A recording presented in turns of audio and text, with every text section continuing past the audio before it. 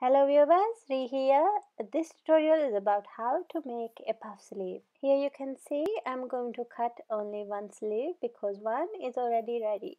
Okay, this is the normal sleeves draft I have put here.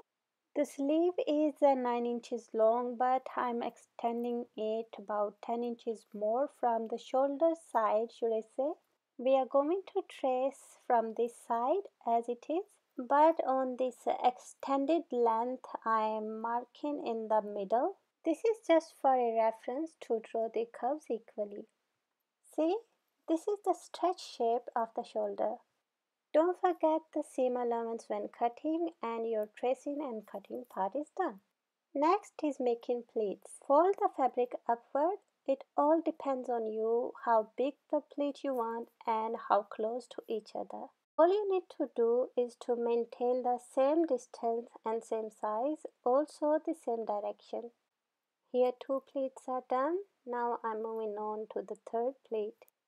You can see the same pleats on the same distance. So carry on until you reach the halfway. So this is the half done.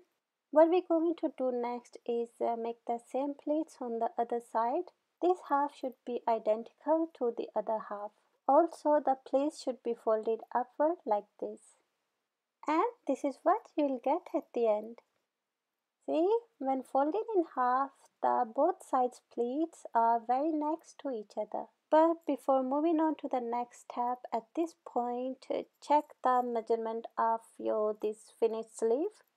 Just in case you might need to change the size or width of your pleats. Here in my case you can see the size is perfect uh, and this fabric will be trimmed off after stitching. So this is time to attach the sleeve with your dress. Here you can see one sleeve I have already attached and the other one I'm going to attach in front of you. This is how it will be attached. So let's start sewing.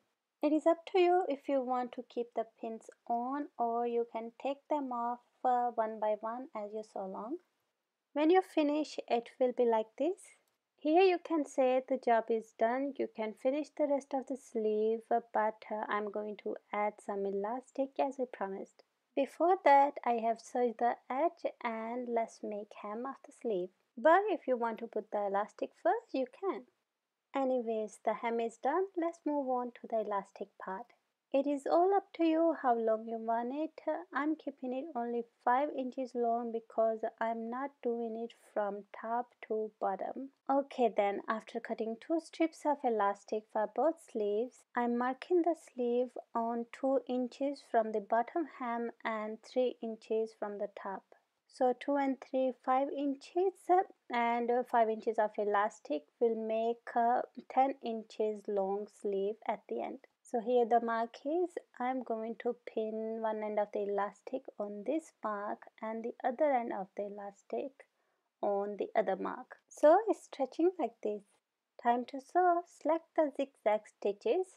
You can't have the pin on so put the needle down to lock the elastic at its place and to keep the elastic straight I'm using the crease on the sleeve as a guideline. Remember don't stretch the elastic at this point. First do the back and forth stitches to secure the elastic. Now hold from the back and stretch the elastic as you sew along. And don't forget to keep the elastic straight on the crease. Also, don't pull the fabric from the back of the foot, otherwise you'll break the needle. Let your machine teeth fit the fabric. Holding from the back of the foot is only to keep sewing in a straight line. When you reach to the other end, take out the pin and sew one more time back and forth to secure the elastic on this end. Let me lift up the foot to show you its finished look. See, it's stretching effortlessly and it looks very neat. So this is how it looks at this point. Let's flip the wrong side out and sew from the sides. Finally, your sleeves are done. Now you can finish your dress the way you want. I hope you found this tutorial helpful. Thank you so much for watching. See you in the next video.